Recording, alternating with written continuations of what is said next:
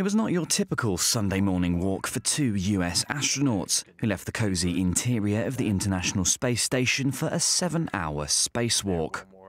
Station Commander Barry Butch Wilmore and Flight Engineer Terry Virts, both from the US, floated from the station's Quest airlock at 7am on Sunday to install communication and navigation aids for new commercial space taxis.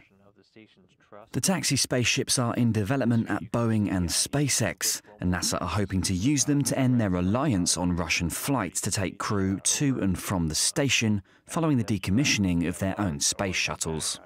The development of the taxis is a joint project between 15 nations that intends to break Russia's monopoly on spaceflight by 2017. Sunday's spacewalk was the third carried out by the pair in eight days.